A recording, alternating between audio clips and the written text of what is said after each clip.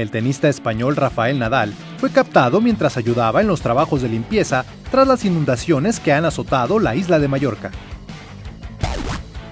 El defensa del Eintracht Frankfurt, Carlos Salcedo, está en Monterrey para seguir con el tratamiento de su lesión en el tobillo izquierdo y así presumió su terapia. El que va a necesitar terapia urgente es este jugador de la primera división de Ucrania, luego de recibir tremenda patada de su rival, quien vio la tarjeta roja.